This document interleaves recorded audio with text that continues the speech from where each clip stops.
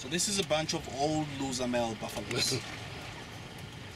Get a job. I resemble that. Retired generals. Get a job. No more sponging off the family. and obviously some a couple of hippos. Oh, wow. Now you have two, the diff- one, this two different types of buffalo. Can you see yeah, the with the horns. Or The bulls get into territorial the way their horns are different. And they, look at the damage they For the male each and other. female? Yep. The, the male has big broad horns while the female horns are smaller. To get into territorial fights. The, the white bird under the buffalo there is a cattle egret. Then there's another white bird behind them. That's a little egret. Under the buffalo cattle egret, further in the channel is a little egret.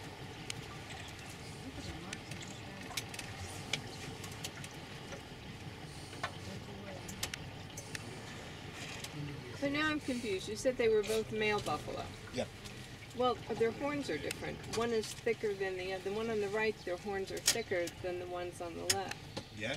One They looks cannot more like a Dutch cap. Yeah, the they other. cannot really always be the same, but still, the one to the left, the horns are thicker than those than, than, than those of the female would be. The ones of the males are all connected. They look connected, both of them. While the females they have far in the middle, and they are smaller. So the one to the left still has bigger horns than the female would have. But they're both the same species. Yeah, they are same species. Well, live and learn.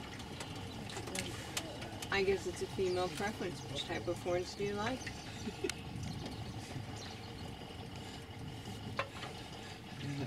Don't touch that. I know. This is about getting horny. And the one, the one to the right, the buffalo to the right is older than the one to the left. Ah. Yeah. You can even see their size is different. The one is still bigger, and the one to the right is smaller. It's old and frail.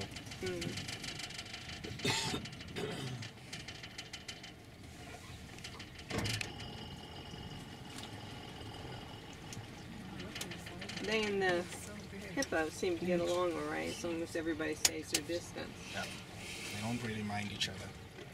Do the, do the buffalo and the hippos ever fight at all? No, they don't. The number, I mean, it's more safety numbers. They're all grazers, so it's not like a predator and prey. But uh, you know, the predators, you don't see them hanging around together because they be each other's competition. But the grazers, The grazers, they live. They all live in harmony. You'll find hippos, Yeah. um, yeah, buffaloes, giraffes, kobs, all together, and they won't bother each other. Because for them, food is not a problem. It's in plenty.